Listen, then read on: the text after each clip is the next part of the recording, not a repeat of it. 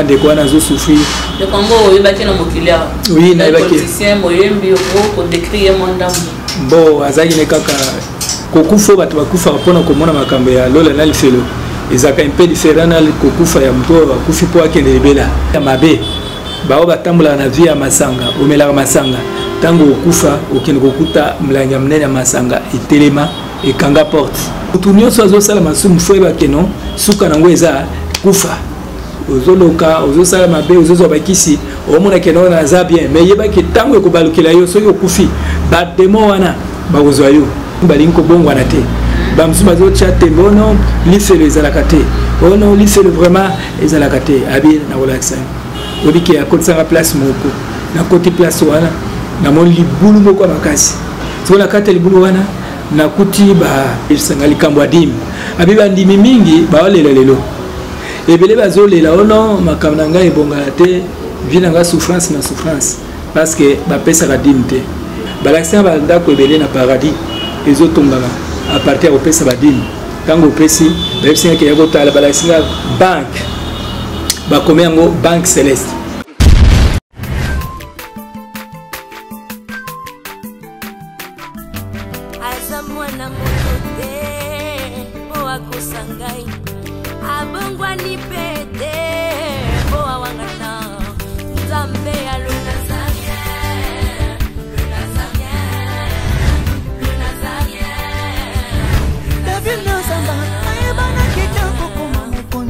nalandaka bemission oyo ebele ebele ebele nalandaka mposa donc euh, félicitation 5 ans déjà eza ebele les nazaréens parce que euh, avoir une structure et tenir ne fût-ce que 3 mois ya pamba euh, ezali pendant mwamba te moi ce que je vous demanderai euh, enfin ce que je souhaiterais eza kaka que bokende lisusu maman tiffany chapeau bas je sais que c'est dur mais euh, continue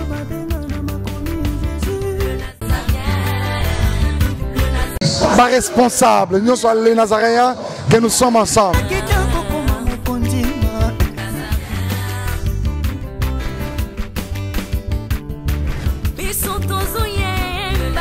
naolia bakiti na bamesa ah, ata nyau kondoko namona yo natya yo na mwamba na minute oyo nakata mpenza katikati ya saki ya fufu oui alo eskoti bonjour boni eloko te oyebi ke ya modero aotravaille te mikolo oyo donc nde toza wana yebisa yo galère na niveau zero tosala boye eh, ngai naza na mbongo vraiment mingi te Mais nazo tiela bino mwa moke oyo naza nango na agence moko boye Nazareta.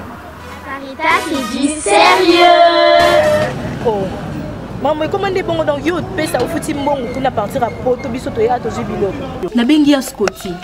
Agence moi efungami komona ngo Nazareth. Eh! nakufi eh. agence ah, lisusu nakesa su molongo kuna eh,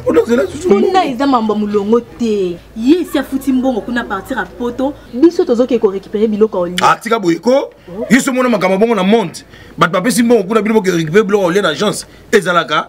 mais yango ebandi mama leki na ngai ayebisi ngai me nandimi te nalingi namona kimona mbeso mpo likambo boye na monde nani esalama te mama yebisa ngai bapesi mbongo kuna biso torekipere biloko ya kolia awa ya solo butiki nazareta ezali butiki oyo ezali ya distribution ya baproduit alimentaire ah! tosali mpo tosunga bandeko oyo meme baoyo baza na peu de ressources komeka koyede bandeko yango baza na niveau ya kinshasa meme avec un petit rien donc à partir ya 10 dollars 15 dollars donc soki ozana na mbongo te ndeko no na poto akosunga yo awa ozwi ka biloko ya kolia Hey, eh, mama nazareta nzambe apambola ye abakisi mikolo ebele awa na se na mokili ebongo awa toza wapi mpo toyeba adresse awa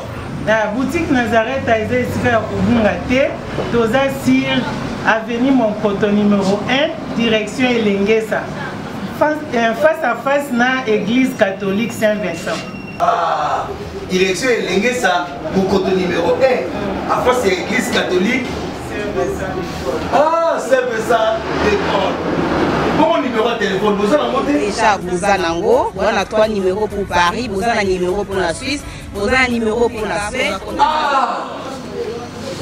Non, non, non, non, non, non. Nazareta. Nzala na Congo esili.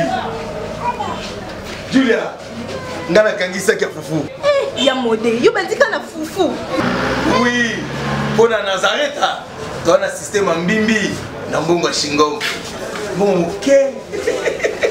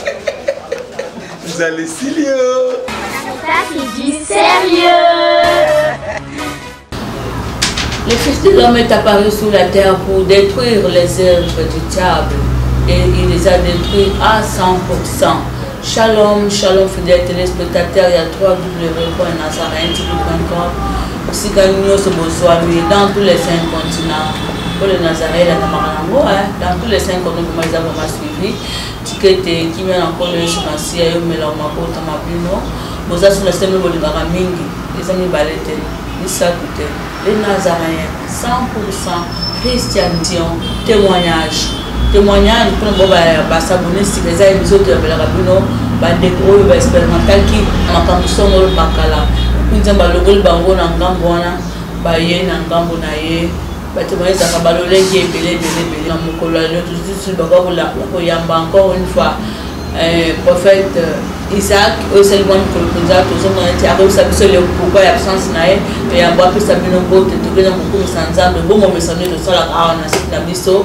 tokumisi nzambe au travers loyembo oyo tokei rejour esimbami na alain kiakala ateli biso loyembo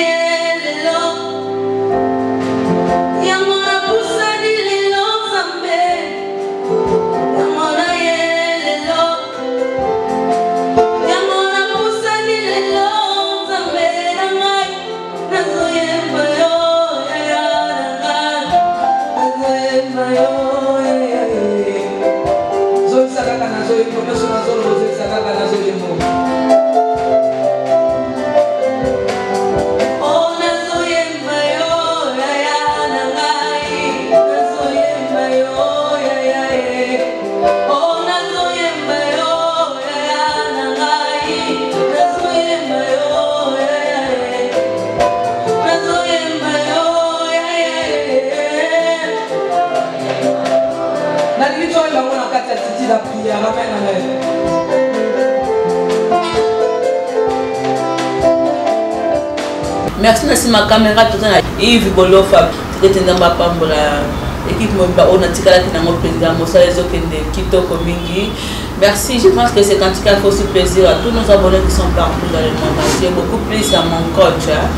Aujourd'hui, la petite de l'appeler maman, tu vas nous montrer là où elle est au Bénin en ce moment. Et l'éternel continue à t'assister au nom de Jésus. Voilà, on a qui retourner vers l'invité Nanga Mokola Lelo. C'est à qui j'ai dit shalom, homme de Dieu. Shalom.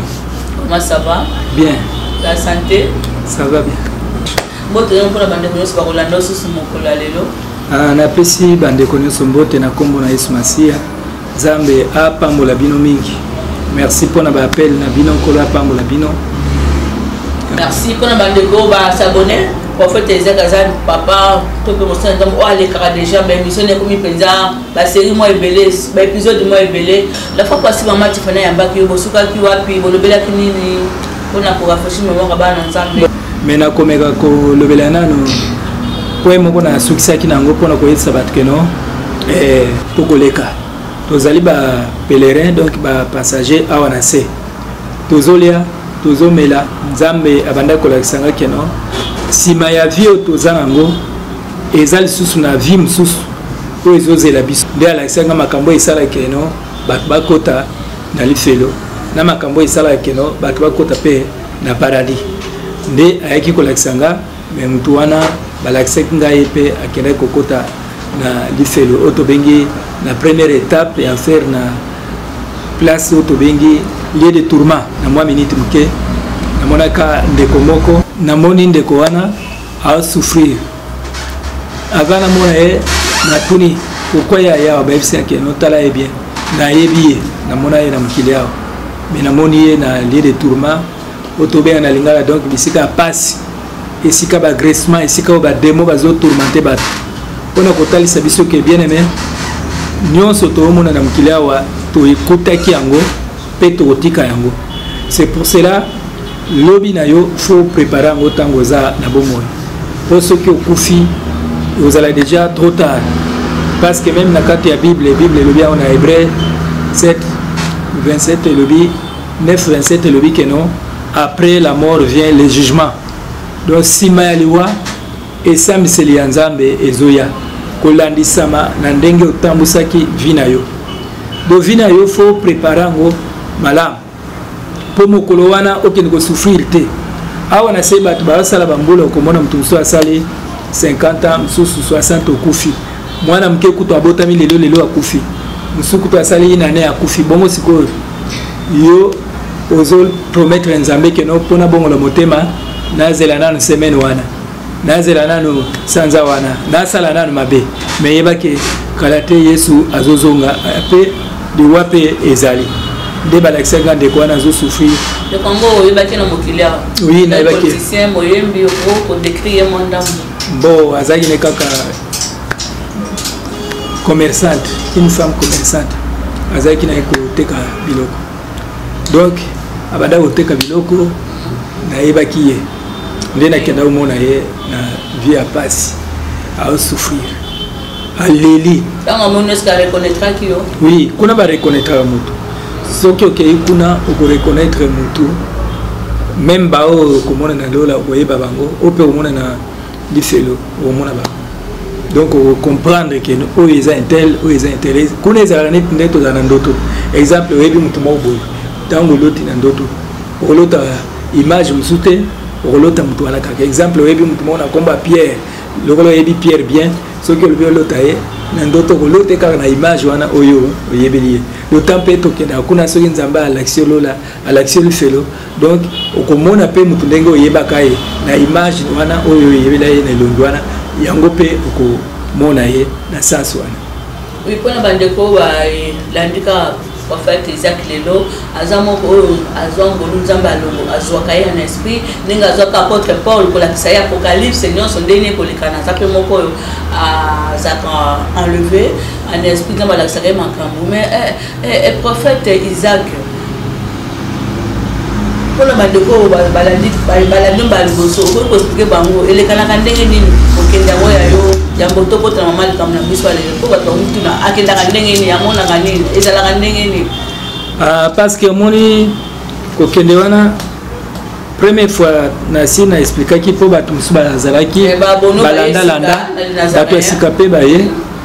mais première fois nalobaki ke tozalaka na nzambe malamu tobanda koprie tozalaka na priere ya 3 jours na nsima priere ya 3 jours nde nzambe azwaka nga asalaka neti akotisi nga neti koma nakomi lokola moto akufi na bonzoto donc atikelaki ngai mwa pema mm. mais amemi ngai en extage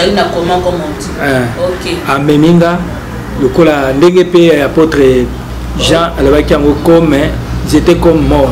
lokola moto akufi parce que mayele ya bomoto nyonso ekufi ah, apôtre jean je m'excuse celui qui a écrit l'apocalypse hein? oui. apôtre jean ezalaki okay. jean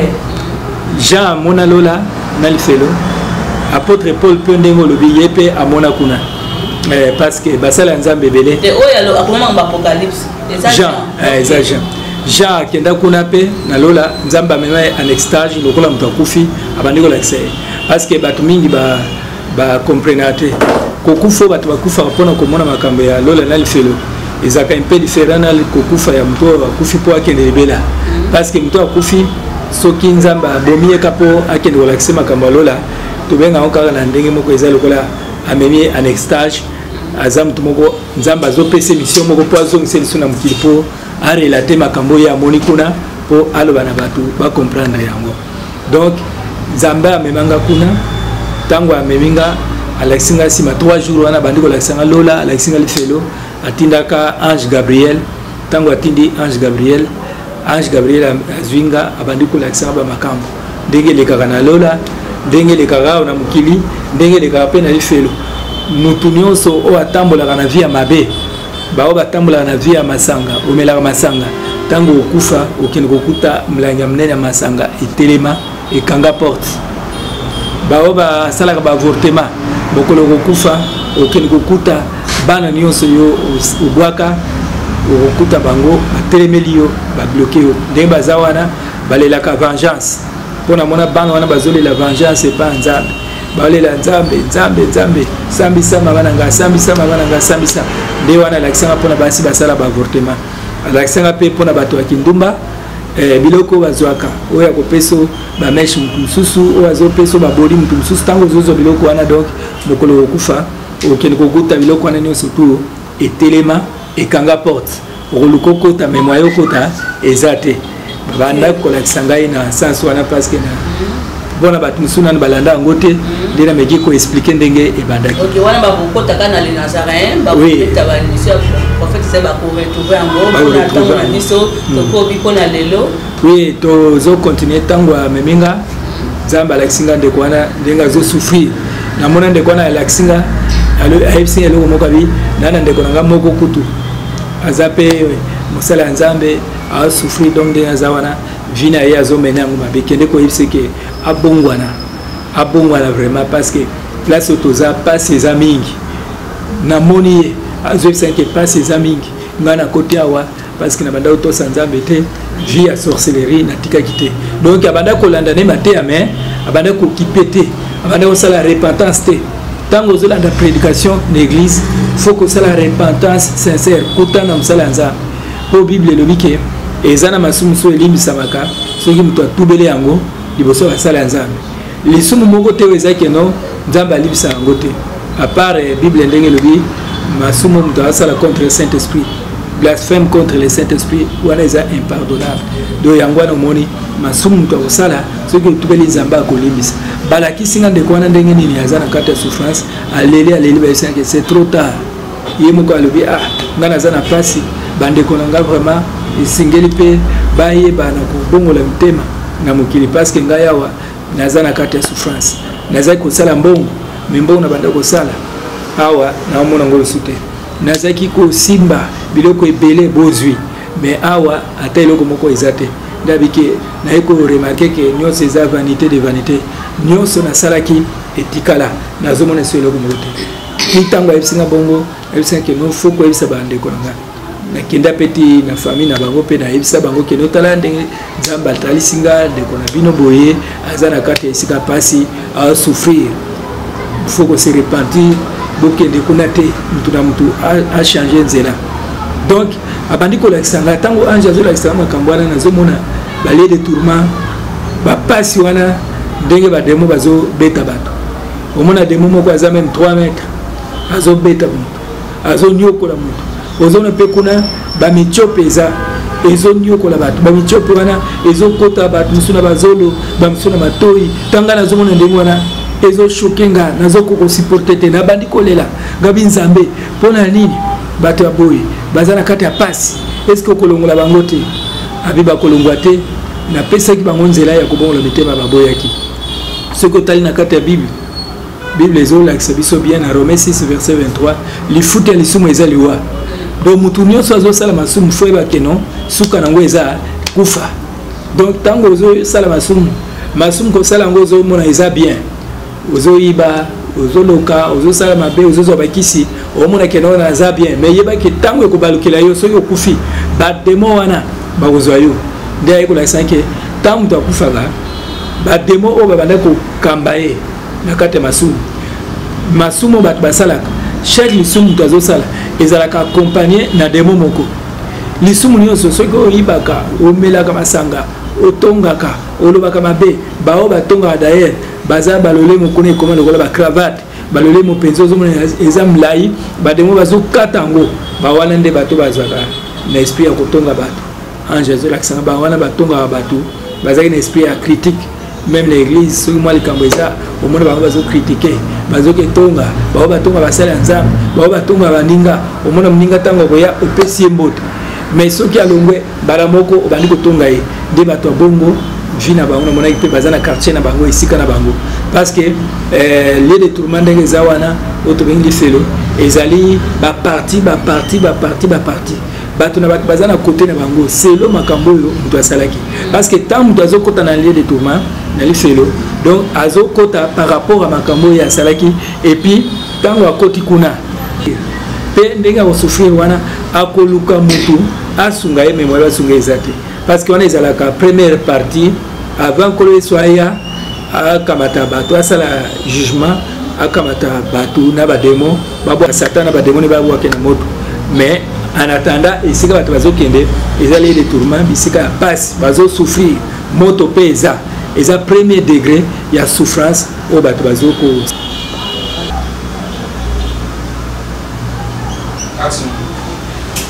te a partir wana abandi kolakisa keno donc eh, lifelo ezali esika ya bato baboyi nzambe baboyaki nzambe batikaki nzambe donc eh, place na bango eza kuna nde motu na motu aza na esika par rapport ya makambo oyo asalaki ntango okoti kuna ezali na kati ya masumu oyo osalaka ekozala na lisumu moko oyo eza mpenza peche oyo eza oyo tobengaka peche chéri lisumu oyo olingaka makasi oyo omonaka moto mosusu soki abandi kokanga kanda alingaka kolimbisa te bayebisaki meme bato balimbisaka bato te bamosusu bazalaka na baproblème na kati ya motema omona akangela motu kanda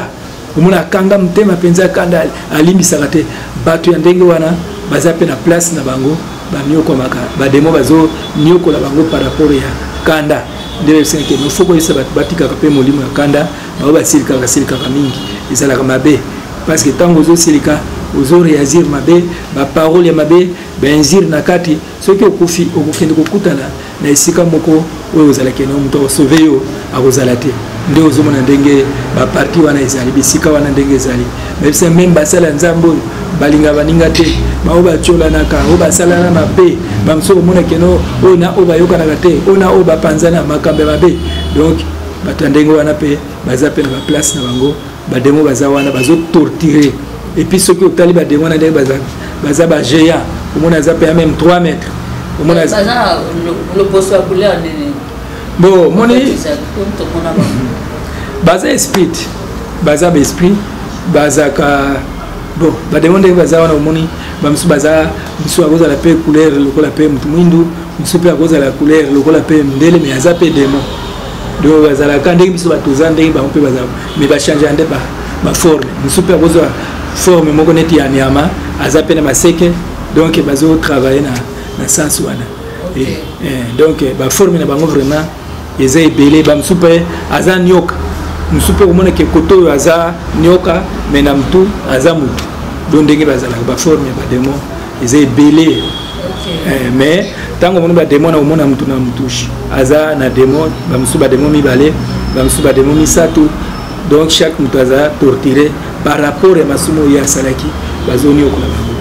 nde nzambe ntango abandi kolakisa makambo wana esali nga mpasi mingi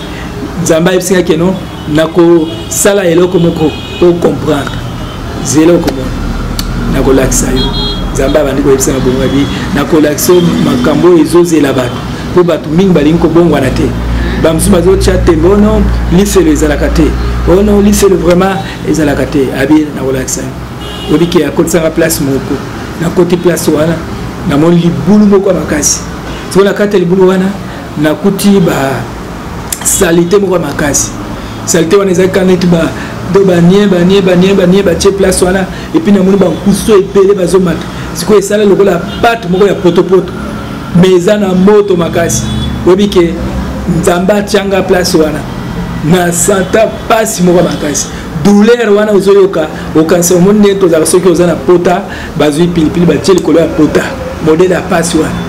nabandi kokima nazokima nayebisi nkolo pourkui otienga awa mbala moko natala boye namoni mwana moko ya moke mwana wana azalaki lokola mwana ya 7 ans mwana wana azogangela nga ayebisaka kasi parceke bino bato ya mokili botiaka tembe mingi bolingaka koyoka te ntango bazoyebisa bino keno lola eza lifelo eza bondimaka te ngai nalakisi yo makambo wana yango nakende koyebisa bapaster yebisa basala ya nzambe bakeba oyo bazosaka na makambo ya nzambe bakeba parceke place omoni ndenge ozwaka basouffrance wana ndenge ekozala namona mpenza nzambe apermettre ayebisi ngai keno nakopermettre oyoka souffrance wana namoni bankusu wana bazalaka na rapidité moko ya makasi bamati nga na nzoto bakoti nga donc nazolongola ezolongwa te namoni lisusu na banani bamitio mpo tobengi bavers de terre donc bakoti nga lisusu nabandi koyoka pasi pasi pasi pasi oyebi ke ezalaka na ntongo nango bona nalamuki nzambe akolakisa nga namoni na batashe mpo batashe wana elongwalongwa namona na batashe nalakisa yango mpe na ndako na bastel tozalaki na ye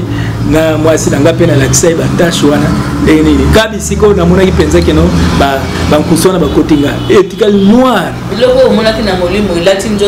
elati nzoto elati nzoto donc nakomi komona yango mpenza na nzoto boye batashe awa okomona mpe awa surtout awa tashe ezalaka mais bon trace moko ya moke kaka okomona ezalaki batashe awa ezalaki doyesani ete bamoto naziki moto nde nzambe ayebisani keno nasalaki bongo oyoka ndenge ezalaka aya ah, namema eh, sango okebisa bandeko eh, sikoyo natuni ah, pourkui boye namoni mwana moke wana alimwe nabandi koya na nzela ntango naye na nzela namoni kolo yesu ayelinga abandi koyebisa nake omoni makambo omoni wana eske okomprendre yango ngai na comprendre te nakutani na mwana moko ya 7 ans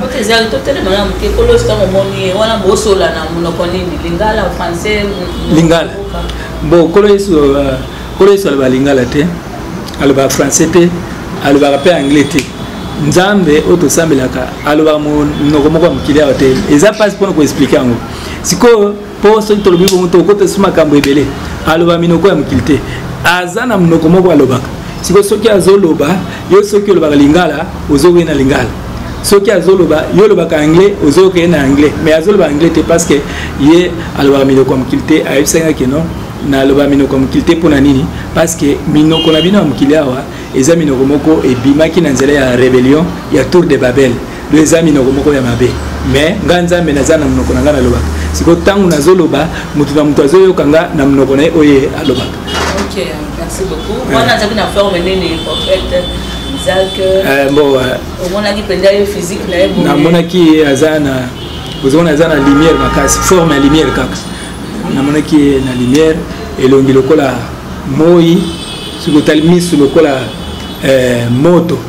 epuis makolo ezomona ezongenga makasi epuis wana ngai ntango nazalaki wana nazobanga makasi nazolenga nazokoka kotala mpenza te okotala ete soki ozotala ye vraiment okotala ye te à moins que ye moko parce que omona bambala ebele nakuta na ye ezala na batour mosusu apermettre alongoli ba lumière wana ya makasi bagloire wana apermettre mpo bokutana bosolola na ye euh, ozomona mpe yake no aza mpe aneti motu don nzambe na biso azaka motu namoni abandi koexplike nga keno makambo omoni wana eh, mwana wana ya 7 ans ezanga moko yesu masiya parce que yo soki nazomema yo mpo nalakisa lifelo olingaka koyoka te olinga na yo te omona yango keno kuna moto eleki yango wana nalingaki te omona nga nalingaki nakomaka neti mwana moke mwana wana omonaki ya moke ezanga moko nasalaki kaka bongo mpo eyo otungisa nga te ndenge okimaka kimaka soki nazolakisa yo makambo ya lise nga ndo nakimaka yango mpona moto eleki makasi souffrance eleki makasi parce que douleur wana esalaka nga makasi na, na motema mpona komona bandeko nga nayeba bazosouffrir mpona komona bato nayeba baomona mpasi do yango omoni abandaki koexplike nga makambo wana bi kende koyebisa basali ya nzambe mpe babongola mitema mingi balongwa na nzela ya nzambe mingi bamikotisa na makambo ya mabe me bayebaki sore ya basali ya nzambe ekozala makasi koleka meme bapayen parce que souffrance ya basali ya nzambe to mpe ya bana nzambe ekozala fois double mpo na nini parce que bateyaki bato balakisi ngai neti bato moko baprotocole natoki baprotocole wana basala nini ayebisa na nzela otala bakokotisa bato me bango moko bakokota te bakokotisa bato me bango moko bakokota te natuni pourkui bato wana basala protocole bakokotisa bato me bango moko batelemi ka place moko bayebisi na keno wana eza basala ya nzambe bamosusu bazoteya bato bato wana bamosusu babongoli mitema me bango moko basala ya nzambe babongwani te batikali bamosusu bakobika na bango me bango basala ya nzambe wana bakei na na lifelo ndayebisaka ke boza na ntango ya suka bilembo nyonso ya ntango ya suka boomona yango me bato balingi kobongola mitema te makambo nyonso nalobaki bato bazomona yango me bato balingi kochange te yango wana yo nazolakisa yo yango nakotalisa bambala ebele nde bato mosusu bakokamwa pourkui me nga moko moto nandimi kaka nalakisaka yo yango mpo mosala no mobimba napesi yo yango wana mpona kozongisa bato na nzela babandi kolakisa nga donc eh, lifelo vraiment eza esika kokende te eza esika moko ya mabe yango moni tout le temps tozobeta sete mpo na bandimi ke tosala makasi tokende kuna te oyinaka bato tika ozala motema mabe tika osalela nzambe bien te tika ozala na négligence fo kotika parce que vraiment esika wana eza mabe makasi ngai namoni yango na miso mpe nzambe azokontinue kolakisaka ko ngai yango na miso bato ebele bazobenga bazokomprendre makambo nazoloba par rapport ya lola na lifelo parce que totamboli mpe baeglise ebele toke partout mpona koloba yango meme na gabon na zambie na balubumbasi bisika ebele bana nzambe ebele bazongeli bonzambe donc motu na motu mpe azolanda ayeba na kosala repentance mpo akende kose retrouve na esika wana te prison ya mokili bakokanga yo osali une année oubien babi ke non eh, batie yo mpona bakondane yo mpona 5 ans bakondane yo mpona 10 ans bakosombela yo prison mais prison ya lifelo moto akosombela yo yango akozala te parce que kuna basombaka prison te kuna repos ezalaka te ono babimisi ye nanu provisoirement mpona 2 semaines ekosimba te donc kuna eza soki okoti okoti mpona libela nzambe abeteli nga masolo ya bisinga kino bato mingi omoni ya bamosusu basali 2000 ans bamosusu basali 1000 ans na kati ya moto wana me balongwaka te eza mpasi mpo balakisanga bafungoli place moko namoni bato ndenge bazozika bato wana bakomi mpenza donc couleur wana nayebi te soki nini bayindi makasi donc bakoma mpenza lokola makala ebisanike bawana bawumeli mais malgré bawumeli comme baza baesprit bakokufa te ame ekufaka te corps nde moto ekufaka mais ame ndenge okoti kuna okoti mpo na libela moto akobimisa yo akozala te nde a partir ya bongo abandaki kolakisa nga abiyebisa bato base repentir parce que esika oyo eza mabe ti ntango kolongi wana ange ayaki kozwa ngai alakisi nga paradis tokoti na paradis paradis ou bien lieu du repos comme on appelle ah, ah. banso bazobenga yango paradis nayebi te tokokota yango na jérusalem asika après le jugement non paradis tozokota yango déjà yango wani tokendaka parce que mokolo kanisa kaka ntango nani akufaki moyibi akufi likolo ya croix na jésus christ ntango bakufi nkolo yesu alobaki nini ayebisi moyibi wana moyibi nano alobi keno eh, yo eh, moto mabe moto wana atyolaki atyolaki nkolo yesu abi ah, non yo obikisaki bato mosusu mibikisa mpe yo moko malfaiteur wana mais eh, nkolo yesu avandaki ka kimia moyibi alobi keno yo yo na ngai tosalaki mabe mais oyo aza mosantu ya bato asali mabe te aza ziste biso nde tomerite mabe na biso ya cause ya mabe oyo tosalaki nkolo okay. yesu mokolo kozonga okanisela ngai jésus christ ayebisi eke non aujourd'hui même abi lelo kaka tokozala na yo na paradis donc eh, eh, paradis yango wana ka lieu de repos mais eza paradis okay. mm. eza paradis ntango ange azwi nga amemi nga kuna abandi kolakisa nga bandako ndenge ezotongama azolakisa nga bakartier ndenge ezotongama atalisi nga bakartier ya ndenge na ndenge oyo namona te na mokili bandako mosusu batonga yango ozomona or na or ndako mosusu batonga yango na badiama na badiama bandako mosusu ozomona don nakamwe bandako mpenza ndenge etongami kitoko mais bakartier mosusu eza ya niveau ya likolo bakartier mosusu ya niveau ya se mosusu ozomona eza na valeur mingi te me mosusu ozomona mpenza qualité moko ya makasi mabanga ya talo ebele nde esinga ke bakartier wana etongamaka na nzela ya kopesa badime na bino na nzela ya kopesa baaction de grâce baofrande kosoutenir bapauvre baveuve ntango bosala misala wana ezosunga bino nde aye koyebisa ngai likambo ya dime abi bandimi mingi baolela lelo ebele bazolela o oh non makambo na ngai ebongaka te vie na ngai souffrance na souffrance parce que bapesaka dime te dime ezali eloko oyo esalaki motu apambolama abandi koyebisa na ndenge wana abi dime esalaka motu apambwama dime esalaka motu akende liboso mingi bazo réclamer ba dîme na kati ya moke pardon nsima ya lowana kozongela yango me likambo ya dime awa na sere mabele ezobema badeba makasi yana oyo bazondima yango bazoboya nayebi te mpo na yo moto ozalaki kuna oloba nini parce que ememaka badivision na baeglise eglise mosusu bandimaka kopesa dime eglise mosusu bandimaka kopesa dime te eh, bon omoni oyo tozoloba eza révélation eza makambo nazwi kuna na lola epuis par rapport ya mokili soki bato baloba bongo eza mabe parce que kolo alobi ke fo moto apesa dime dime yango nde esalaka moto apambolaka malasi chapitre 3 verset 10 à 12 kuna okomona mpenza ye moko eh, nzambe alobi yango sikoyo soki lelo na kati ya baeglize bato ya mokili babike no eh, topesa badime te eza deja baerreur mbo eza ancienne alliance te parce que babike malasi 3 10 sikoyo soki tobike eza ancienne alliance soki makambo nyonso moïse aloba tobwaka na biso tobanda kosala na biso kaka makambo ya nouveau testament te nyonso eza mpe utile mpona kosunga biso selo révélation okay.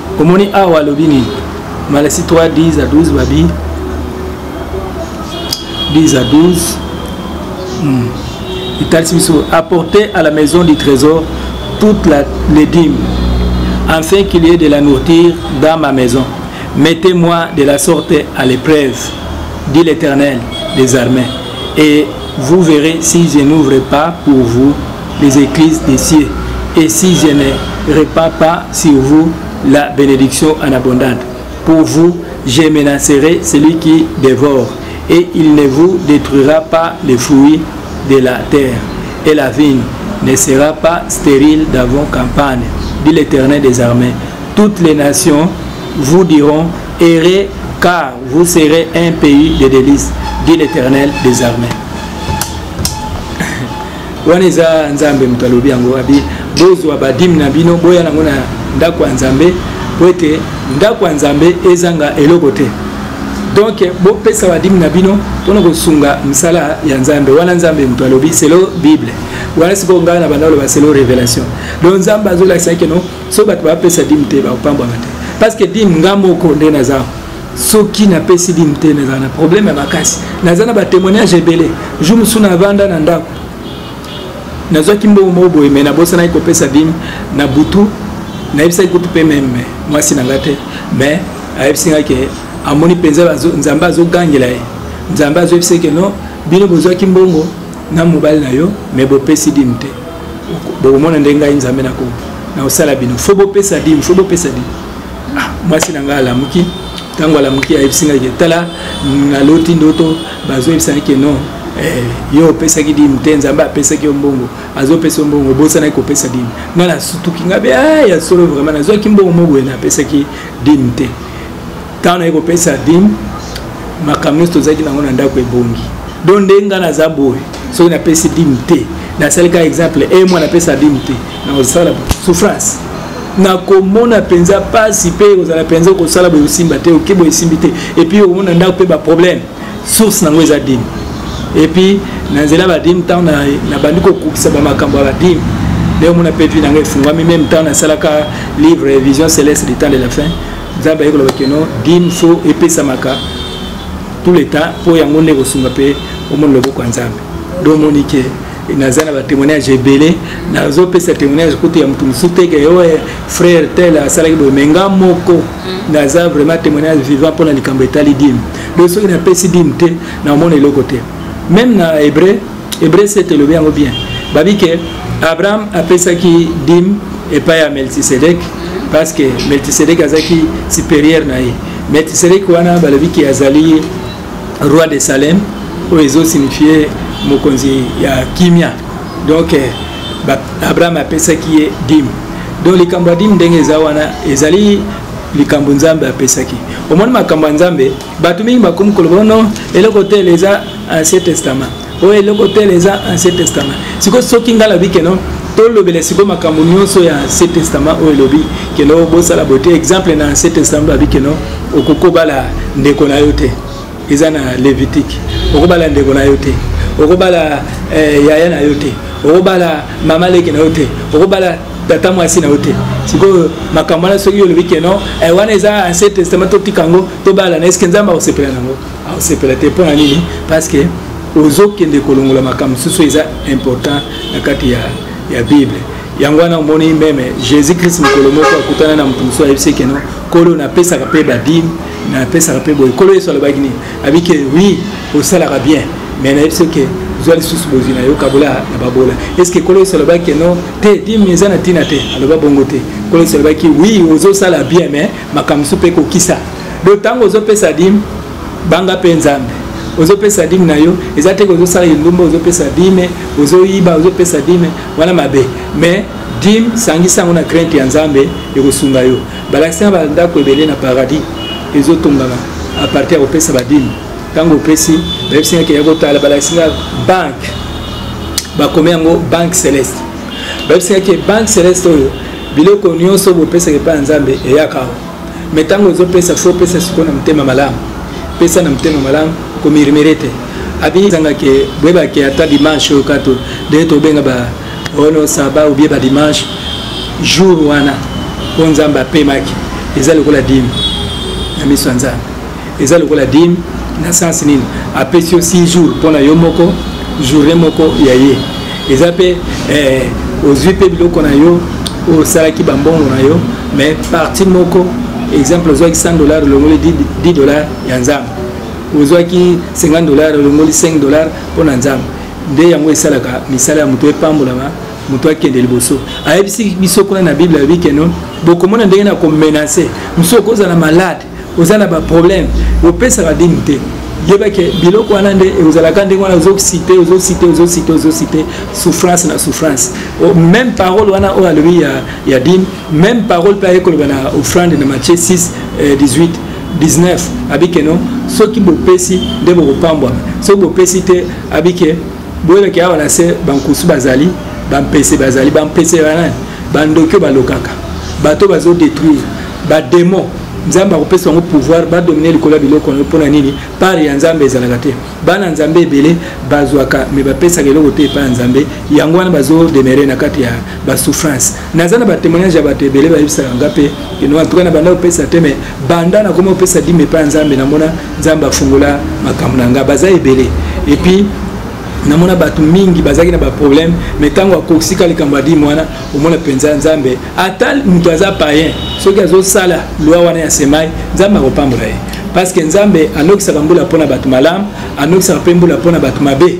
donc abimisaka moi mpo na biso bana na ye azobimisa mpe moi mpo na bato mosusu ya mabe ata moto mosusu abanga na ye nzambe te mai koma tosaka kosunga mosala ya nzambe kopambola mosala ya nzambe nzambe akotika moto ya ndenge wana te nzambe akopambola ye yango omoni nalobelaka mingi makambo ya lifelo me nzambe ayaki kolakisanga mingi likambo ya dime na ofrande ke biloko wana yango mpe esalaka moto apambola mabike no bosalaka bafeti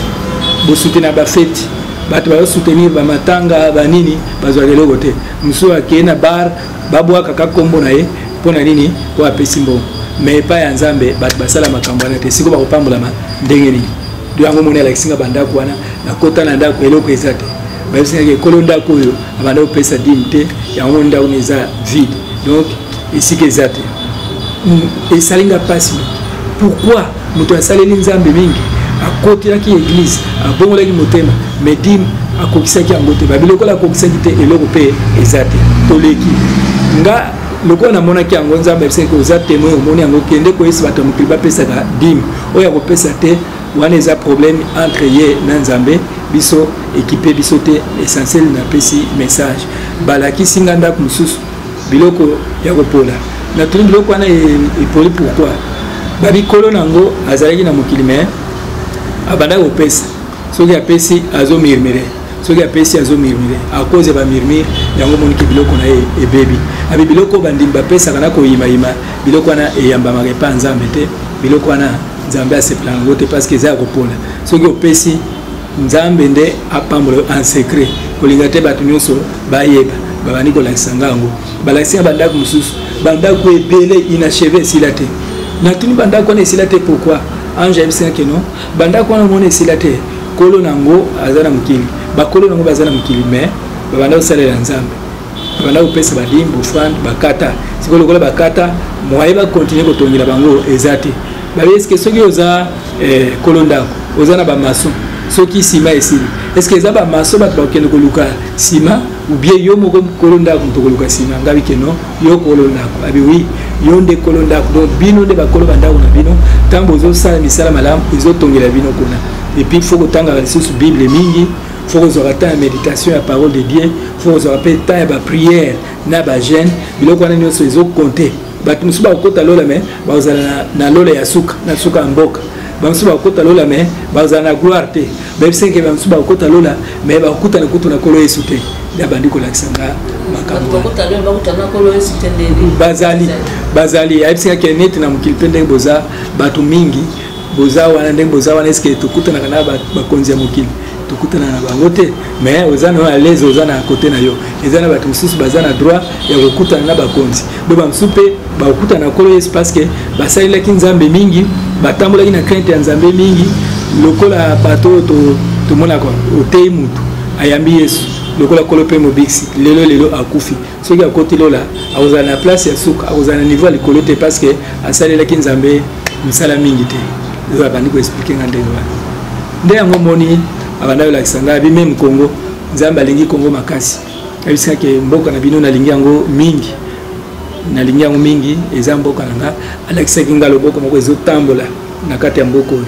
atasi nga loboko wana ntango atasi nga loboko wana ayebisaki no omoni moi ezalaki likolo me namoni sikoyo loboko wana na se avant moi etouche biso na kongo namoni sikoyo nani loboko wana ezosala neti kopambola ezopambola yebisaki loboko wana ya ngai nzambe pays na bino eza beni makasi abi bato mingi bazoloba na ngai nzambe keno eh, pourkui soki bino bakongo bosambelaka so bosambelaka pourkui nzambe azotika bino ayebisaka keno ngai nzambe natiki bino te naza elongo na bino kai eloko ezosala mpasi bato nde baza mitema mabe bato balingi kobongola motema te bato baza na motema mabe makasi bino moko bozoyinana bino moko bozosalana mabe bino moko bozokomilinga te c'est pour cela satan azoprofite abi problème mpe ya congo ezali satan ye moko en personne abi bino bacongolais boza bato oyo ngai nzambe na pona boza na etoile ya ngai nzambe congo eza ya motu te congo ezali ya ngai nzambe makambo ekosalema na congo ekozala na volonté ya bato te mais na volonté ya ngai nzambe nde abandi kolakisa ngai makambo wana abike congo eza moko ya pays oyo nzambe alingi abi malgré boza na mpasi botikaka ngai te malgré bozosouffrir bozokontinue koluka ngai nzambe yango wana ngai nzambe nakotika bino te nakokontinue kopambola bino nakokontinue kosala kati na bino na makambo nyonso elekaka bomitungisa te nde omoni na livre wana nakoma mokomiso nakoya nango awa nakolobela makambo ya congo tokopartage lisu parce que namoni miniti na biso ezokende donc nkolo abandi kotalisa keno bato fo base prépare toyeba nzambe tozwa mpe temps mingi ya kosambela mpo na congo parce que satan azokombattre congo makasi oyo eza lisusu temps ya liseki te ekomi temps totelema biso bandimi totelema tosambela ekomi temps ya victoire mpo na bomoi na biso bakongole tosalela nzambe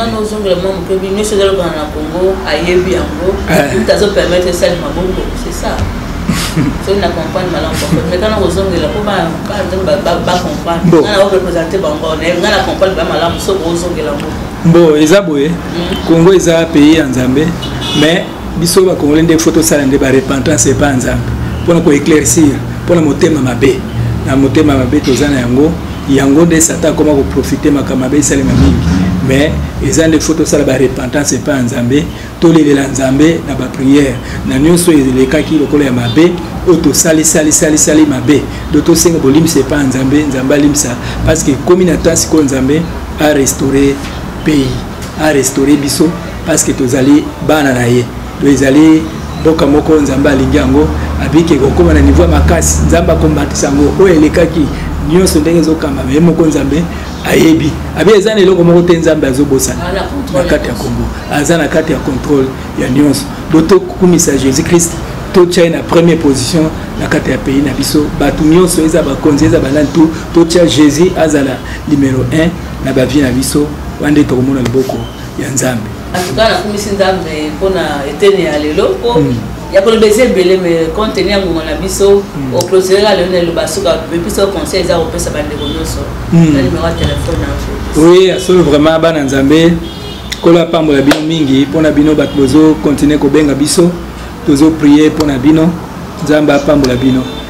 et puis na pesi mpe merci mingi kati na chaîne na biso ya les nazariens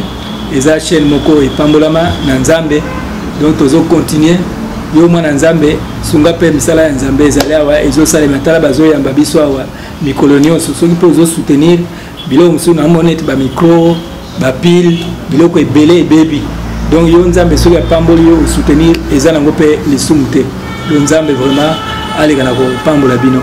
limero na ngai soki olingi kozwa nga ozwi ezali 00 243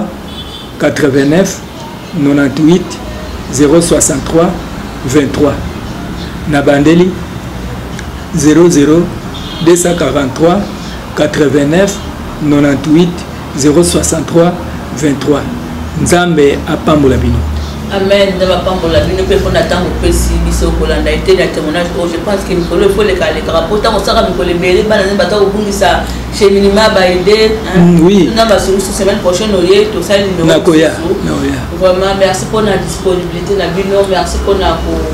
ko ya ba biso na ba ndako na bino ko mena biso ba ndoko za afficher na ba be grâce au na posa ko mena prophète après si ndoko na et pour zala les bienvenus ba question na ko ba suggestion na yo ola lo to si do to kutani ba la sima bye na olia ba kiti na ba mesa ah ata nyau kondoko namona yo natya yo na mwamba na minite oyo nakata mpe na katikati ya saki ya fufu oui alo eskoti bonjour boni eloko te oyebi ke ya modero aotravaille te mikolo oyo donc nde toza wana yebisa yo galère na niveau zero tosala boye euh, ngai naza na mbongo vraiment mingi te Mais nazo tiela bino mwa moke oyo naza nango na agence moko boye Nazareta. Nazareta c'est du sérieux. Oh. Maman, comment est bon donc yo pesa ofuti mbongo kuna partir à poto biso toya tozui biloko. Nabengi ya Scotty. Agence moi efungami komona ngo Nazareta. Eh! nakufi eh. agence ah, lisusu nakesa su mulongo kuna eh, kuna eza mambo molongo te ye esi afuti mbongo kuna partir ya poto biso tozoke korécupere biloko ya olie atika ah, boye ko oh. yeso omona makambo bongo na monde bato bapesi mbongo kuna bino boke récupere biloko ya olie na agence ezalaka mais yango ebandi mama leki na ngai ayebisi ngai me nandimi te nalingi namona kimona mbeso mpo likambo boye na monde nani esalama te mama yebisa ngai bapesi mbongo kuna biso torekipere biloko kolia awa ya solo butiki nazareta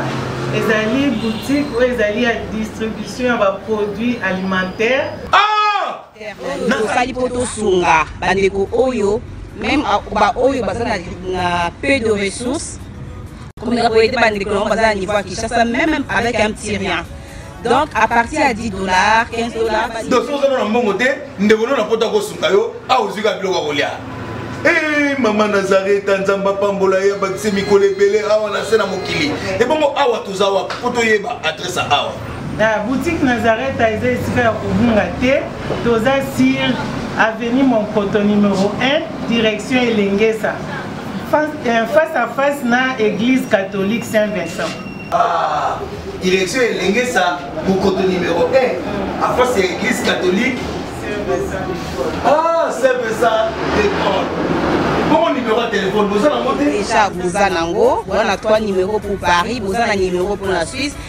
Oza na numero pour la paix. Ah! Non, non, non, non, non, non. Nazareta. Nzala na Congo esili. Julia, nga nakangisaki ya fufu. Eh, ya mode, yo bandika na fufu. Oui, mpo na Nazareta. toza na systeme ya mbimbi na mbongo ya shingongo mbongo moke ozala esili yo